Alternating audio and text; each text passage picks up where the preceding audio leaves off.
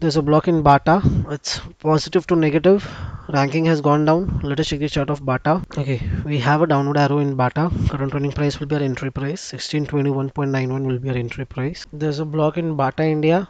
We uh, we entered around 1621.92 around 1622 now trading at low around 1615 1616 a sharp fall in bata india this is after RBI policy now trading at around 1616 for few minutes it's consolidated around 1620 1623 24 but now trading at day low around 1615 1616 a sharp fall in Bata India